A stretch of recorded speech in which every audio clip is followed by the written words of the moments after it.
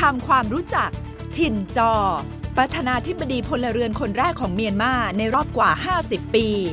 บทบาทการบริหารประเทศแบบ ซูจีอยู่เหนือประธานาธิบดีจะเป็นอย่างไร มองเรา มองโลก วันอาทิตย์นี้ เวลา 9 นาฬิกา ทาง Nation TV